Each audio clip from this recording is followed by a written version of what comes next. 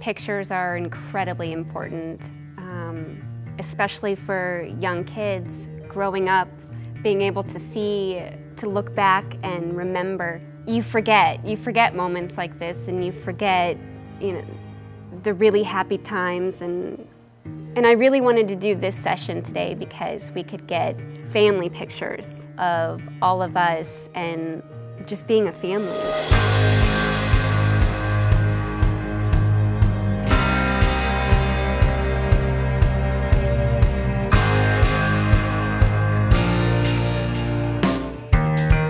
I'm Nick. I'm Jaqueline, and we're the Harvey family.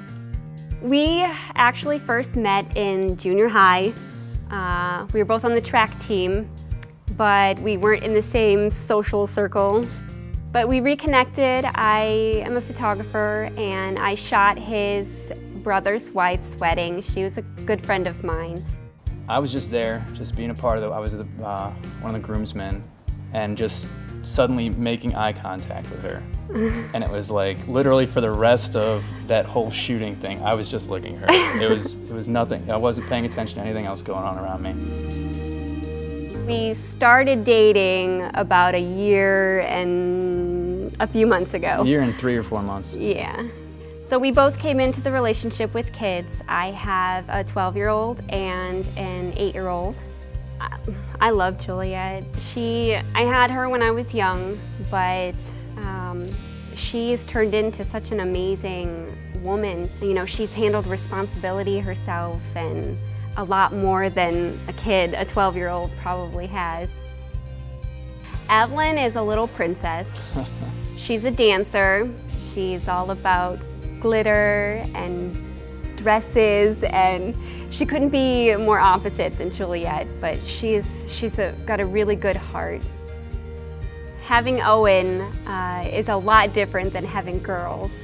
Wakes up at, what, five, six o'clock in the morning, comes running upstairs, and, you know, he's always running around, he's always wanting to play.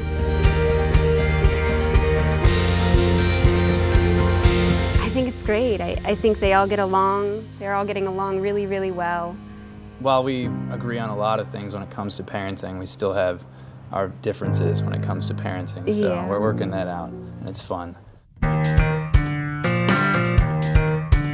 I feel like love, it's unconditional.